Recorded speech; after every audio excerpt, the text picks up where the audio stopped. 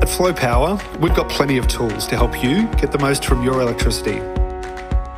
But first things first, you'll need to choose your plan. The Mastery Power Plan is best if you want certainty while having direct access to market lows. Or if you prefer to have flexibility, then Freedom Power Plan could be right for you. Now, time for your toolkit. First, the ceiling price.